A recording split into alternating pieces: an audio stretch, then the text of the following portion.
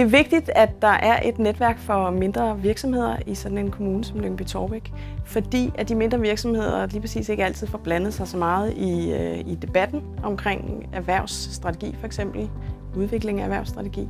Når virksomhederne får snakket sammen og også øh, hen over bordet fortalt sådan mere, øh, i en mere tryg sammenhæng med aktører fra kommunen, så står de stærkere fortalt om, hvad, hvad det er, der er på spil, hvad de i virkeligheden har lyst til at give af feedback til blandt andet kommunen. Netværket er en platform for vidensdeling og opbygning af netværk på tværs af virksomheder i samarbejde med uddannelsesinstitutioner og jobcentret. Det er det her tværfaglige netværk, hvor der er en kombination mellem Karen fra kommunen for eksempel, øh, og repræsentanter fra det lokale jobcenter og uddannelsesinstitutionerne.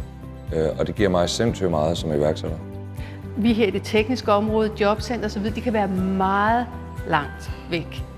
Og der kan, det kan være en overvindelse for nogle folk at søge op til os og få den råd og vejledning, som vi er i stand til at give. Og gennem netværket, der får vi en mulighed for at skabe starten på nogle relationer, så det gør det nemmere for folk at bruge os til det, som vi rigtig gerne vil hjælpe med. Vidensby-netværket for mindre virksomheder bygger på et fundament af høj tillid og et lokalt fællesskab.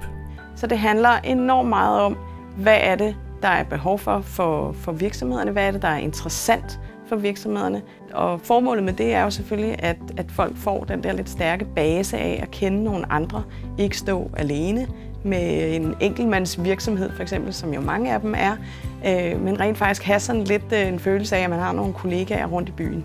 Vidensbyen er ikke et elitært projekt blot for store virksomheder. Der arbejdes med den hele by, hvor alle, også mindre virksomheder, inddrages og bidrager. Der blev allerede samarbejdet og idéudviklet på tværs, og det fortsætter vi med.